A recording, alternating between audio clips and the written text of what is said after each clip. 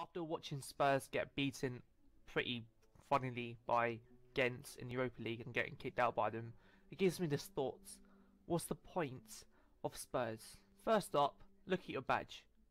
It's a cock. Enough said. It took Spurs a good few years until they can finally get back in Champions League.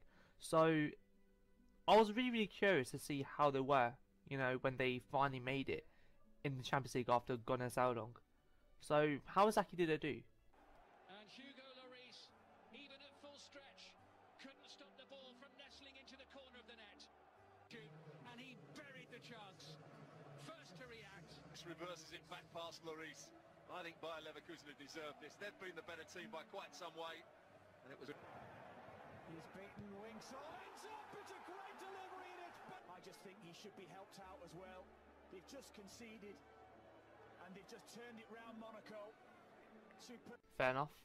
So then, out of the Champions League, um, not so bad really if you think about it. I mean, they're back to familiar surroundings in the Europa League, so hopefully, hopefully, they should be able to win that sort of game. I mean, they're against some team that are not exactly that well known. I mean, they're a team that usually everyone beats in those sort of competitions. I mean, the thing is, can Spurs actually do it? That is the question. Can they actually do it? Look how tense this is. Come on, Spurs, you can do it. I don't know any of these players actually playing for. Do you know any of these people? I don't. Oh no, looks like you're about to do something. They want to run. They want to run. Are they going to score goal? Are they going to score goal? Yeah! Oh my god, Spurs have actually scored. Hopefully, they can probably win this game. They can hopefully win this game. Oh, okay, Spurs are back in it. Spurs are back in it. They could probably do it now. They could probably win the game. They could probably go through this next round. Are they going to do Never mind. How the hell did Spurs manage to lose their position last season? I mean, it was pretty much a two-horse race between Spurs and Leicester.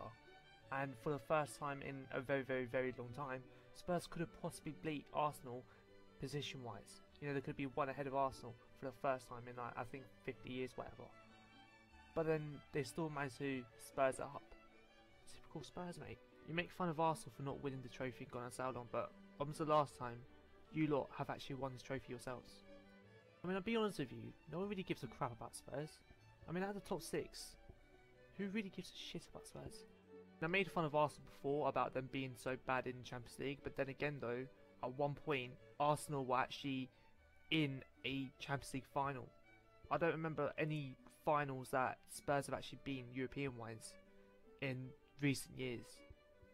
And for any Spurs fans to say that they finally made it in the top four last season and they're going to progress further on to that, the only reason why Spurs only made where they were last season is simply because everyone else was playing shit. Yeah?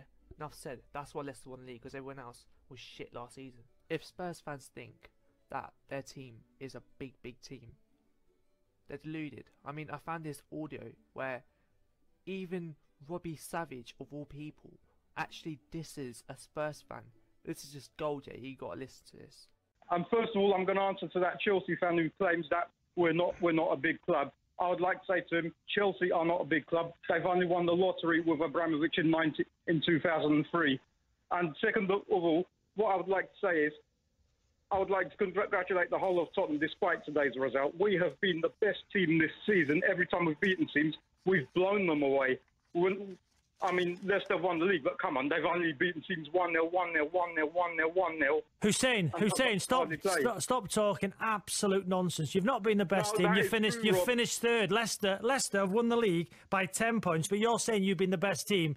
Nonsense. We have been the best team. absolute nonsense. That is true. That is the not fact. true. You finished third. You've bottled it That- towards the end of the season. You finished. You yeah. just got hammered five one at Newcastle. Well, without without Dele Alli, without Dembele, we've had our midfield ripped apart. Well, Leicester went to Leicester went to. Old Trafford without Jamie Vardy. Didn't get beat. You've you've been hammered by Newcastle. You're not the best team. You're the third best team in the country.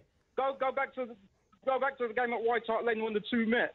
Leicester were getting Leicester beat you 1 0, hammered. Robert Huth They beat us one 0 but they, they were They they, got lucky. listen, they, they've should, won- they should be three or four down. They're 11 That- points clear that- than you. They battered that- you. that- 11 that points. shows how lucky they are. 11 points. Most of that Lucky. Run through Riyad Mahrez.